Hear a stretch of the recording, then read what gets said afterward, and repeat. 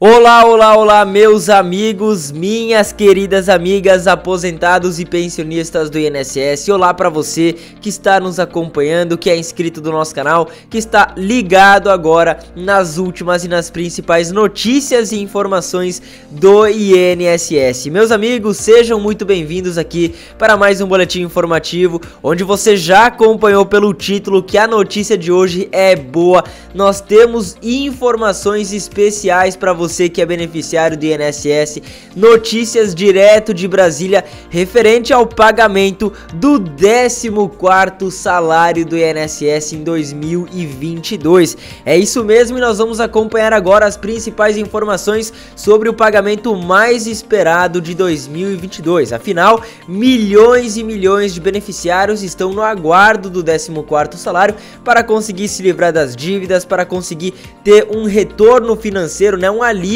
financeiro nas contas. E é isso que nós vamos falar hoje, afinal nós tivemos aqui informações direto de Brasília referente ao pagamento do 14º salário, onde o nosso editor pode colocar na tela aí para vocês que os bancos já estão antecipando o pagamento do 14º salário para alguns grupos e você vai acompanhar se realmente vale a pena você já solicitar essa antecipação, onde eu aviso para vocês, você já pode solicitar o pagamento antecipado do 14º salário na sua conta. Mas claro que essa informação a gente tem que ter muito cuidado, eu vou trazer para vocês todos os detalhes exatamente como deve ser feito, tá? Para você seguir o passo a passo e acabar não se prejudicando com esse pagamento antecipado do 14º salário. Mas nós temos aqui notícias muito boas. Sim, pagamentos do INSS de setembro em setembro liberado. Nós vamos acompanhar também o calendário que já está definido para esses pagamentos então você pode ter certeza que vai sair daqui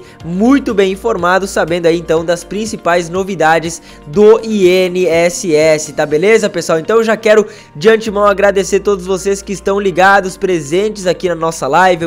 Obrigado para você que está diariamente aqui acompanhando o nosso canal. Hoje nós temos aqui a Inês Luiza, a Adinole Oliveira, Silvia Mora, Imaculada da Silva, Sebastiana da Silva, eh, Solange Ladim, Ana Santos, Samuel Arley, Viego Olson, Cecília, Ivair, todo mundo querendo saber que novidade é essa do 14º salário, que pagamento que vai ser liberado agora em setembro, e é isso que nós vamos começar falando nesse momento, beleza pessoal? A nossa live começa agora, então fica ligado para a primeira informação que é sobre o 14º salário. Editor, solta a vinheta e vamos começar com as notícias.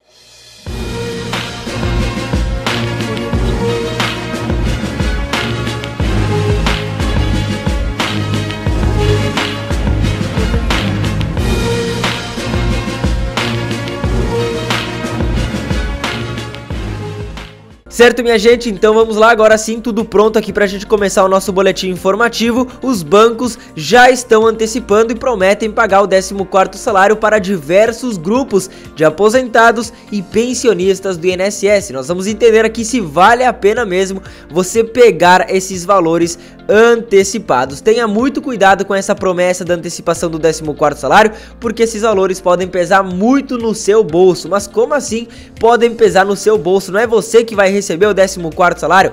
É sim, mas vamos acompanhar agora o que que é essa antecipação dos bancos, pessoal. Olha só, tá na tela aí para vocês. Cuidado com antecipações do 14º salário. Primeiramente, vale dizer que esses bancos que prometem liberar o 14º salário estão na verdade apenas usando o nome do projeto para atrair clientes para seus empréstimos. Não há nada de mal em se realizar empréstimos, mas o crédito deve ser bem analisado pois não trata-se de um crédito consignado ao pagamento do 14º salário, e sim de um valor que deverá ser restituído pelo contratante independente da aprovação do projeto. Então, o projeto original do governo federal e do INSS, o 14º salário está ainda pendente na Câmara dos Deputados à medida que nos aproximamos cada vez mais das eleições, mas infelizmente o projeto não foi aprovado por todos os comitês relevantes até agora. Com isso, é muito muito improvável de que o benefício do governo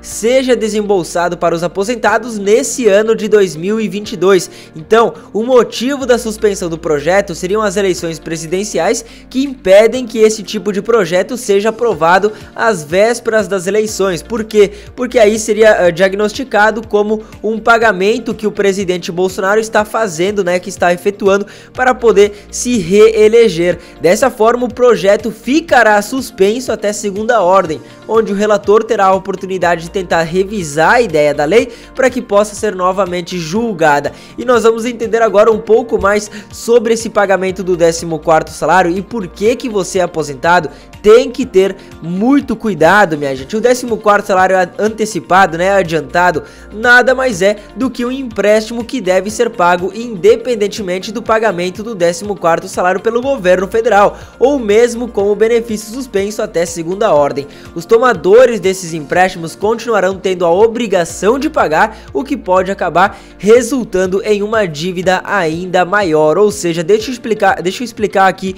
um pouquinho melhor para vocês, pessoal. Vocês vão contratar esse empréstimo consignado que é mascarado como pagamento do 14º salário e assim que você receber o 14º salário do governo federal, você vai devolver o valor inteiro para o banco mais juros, entendeu? Então você vai pagar todo o valor do 14 salário, mais juros, ou que, o que não compensa, até porque a gente não tem nenhuma comprovação que vai ser aprovado o projeto do 14 salário. Então imagina aí você contrata o 14 salário antecipado com os bancos e o projeto do governo não é aprovado. Você vai devolver com qual dinheiro esse, uh, esse empréstimo para os bancos? Lembrando que tem que devolver com juros, ou seja, se você não tomar cuidado, você pode ser enganado, você pode ser passado para trás e isso não é legal, você vai acabar se endividando ainda mais. Portanto, é muito importante você prestar atenção aqui no nosso conteúdo, ficar sempre ligado aqui no nosso canal, porque aqui a gente traz as informações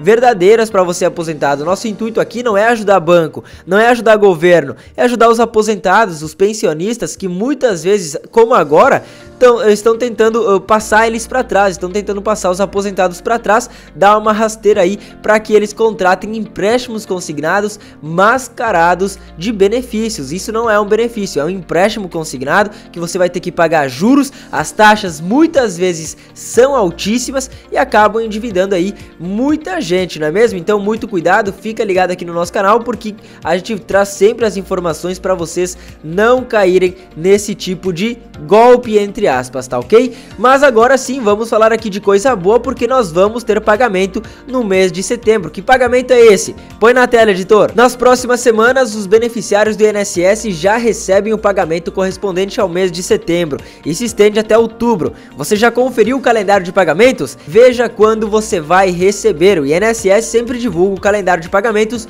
no ano anterior. O cronograma é dividido pelo último número do benefício que vai do 1 ao 0. Além disso, também há uma divisão entre quem recebe um salário mínimo e quem recebe acima do piso nacional. Então o INSS utiliza essa estratégia de dividir os pagamentos porque são muitos beneficiários, são mais de 36 milhões e dessa forma, se os pagamentos fossem todos no mesmo dia, poderia haver uma sobrecarga aí no sistema bancário. Então vamos lá pessoal, vamos uh, acompanhar essa informação. Põe na tela editor. Como saber a data de pagamento do INSS? Em primeiro lugar, o beneficiário precisa saber o último número do seu benefício, o NIS, é, que é uma sequência de 10 dígitos. O último número é aquele antes do traço e dígito verificador. Por exemplo, no benefício de número 1, 2, 3, 4, 5, 6, 7, 8, 9, traço 0, o último número do benefício é considerado como sendo o 9, é sempre o número antes do dígito. Esse número então vem no documento de concessão do benefício enviado pelo próprio INSS. Mas se o beneficiário não sabe esse número, pode consultar através do extrato do benefício. A boa notícia é que nem precisa sair de casa, você pode retirar o extrato então pelo aplicativo ou pelo site do meu INSS, tá ok? Então agora nós vamos acompanhar aqui o calendário completo de pagamentos do mês de setembro. Você confere comigo nesse momento essa informação que é extremamente importante. Se você ainda não conferiu, você vai acompanhar agora. Põe na tela aí, editor. Já está na tela então para vocês. Nós temos aqui a primeira coluna para beneficiários beneficiários que recebem até um salário mínimo por mês. Vai começar então na segunda-feira do dia 26 de setembro para quem é NIS final número 1, na terça, dia 27 para quem é NIS final número 2, quarta, dia 28 de setembro, NIS final número é, no NIS final número 13, isso mesmo. Na quinta, do dia 29 de setembro, NIS final número 4. Sexta-feira, dia 30 de setembro, NIS número 5. Na outra segunda, dia 3 de outubro, então, para quem é beneficiário, NIS número 6. Tá lembrando que são para quem recebe um salário mínimo. E vai até a sexta-feira, do dia 7 de outubro, recebendo por final, então, NIS número 0, tá beleza, pessoal? Então, essa é a tabela para quem recebe até um salário mínimo. Tá na tela agora para vocês a tabela a que recebe recebe acima de um salário mínimo. Então vocês já estão acompanhando aí benefícios acima de um salário mínimo. Vai começar na segunda-feira do dia 3 de outubro, recebendo então em rodada dupla NIS finais 1 e 6 recebem no dia 3 de outubro, no dia 4 de outubro NIS finais 2 e 7, na quarta-feira 5 de outubro NIS finais 3 e 8, na quinta-feira dia 6 de outubro NIS finais 4 e 9 e na sexta-feira dia 7 de outubro NIS finais 5 e 0 e aí se, encerram os pagamentos referente ao mês de setembro para aposentados e para pensionistas do INSS, tá ok? Muito obrigado pela presença de todos vocês, pessoal. Espero que vocês tenham gostado das informações. Compartilha, manda para seus amigos, manda para seus familiares, que é muito importante as informações de hoje. Falamos aqui de 14º salário, falamos de pagamentos de setembro, então já compartilha porque muita gente precisa ter acesso a essas informações